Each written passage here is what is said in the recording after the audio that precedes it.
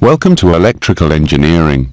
In this video, we will learn about lightning arrestor, and, I will show you 7 types of lightning arrestors. First of all, what is lightning arrestor? Lightning arrestor is one type of lightning conductor.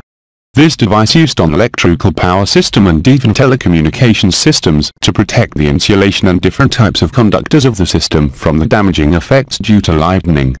Generally, typical lightning arrestor has a high voltage terminal and a ground terminal.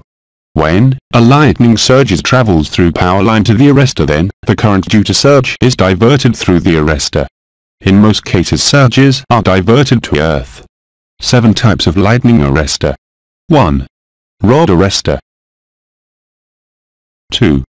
Horn gap arrestor. 3. Multi-gap arrestor. 4.